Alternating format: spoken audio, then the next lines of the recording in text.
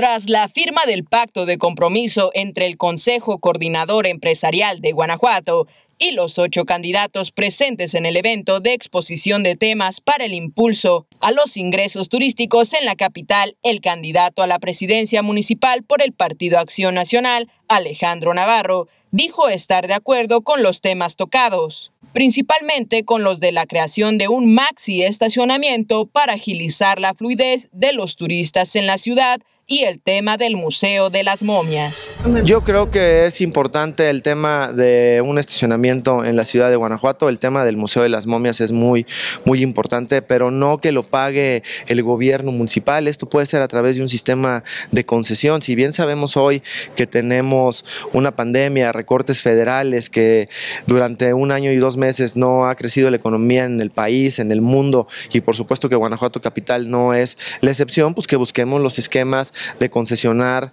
el tema del estacionamiento, de concesionar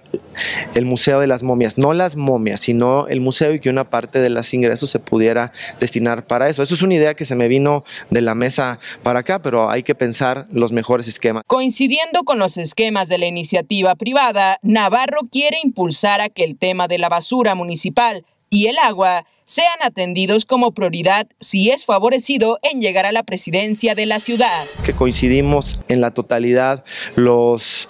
empresarios de Guanajuato, el Consejo Coordinador Empresarial y tu servidor. Será porque yo toda mi vida he trabajado en la iniciativa privada, será porque soy comerciante, será porque soy empresario, pero coincidimos en los temas que son importantes. Creo que en tres años se logró hacer algo y creo que hay que darle continuidad a los proyectos y requerimos un poco más de tiempo. Hablaban de una ciudad limpia, creo que es importante mantener la ciudad limpia, de los carteles de un Guanajuato sin ruido, son cosas que todos pensamos y todos queremos, un tema de agua, si bien hoy nuestras presas están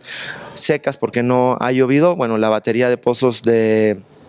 Puentecillas, los dos cárcamos de hierbabuena, pero sobre todo el tema de la presa de la tranquilidad, también con una app viendo cómo podemos conseguir recursos. Pero lo más importante de esto, amigas y amigos, es que para poder hacer esto necesitamos llegar a la administración municipal cuando menos con siete votos o con regidores que quieran trabajar por Guanajuato. Para el sistema de noticias de TV Guanajuato, con imágenes de Víctor García, informó Charlie Zamora.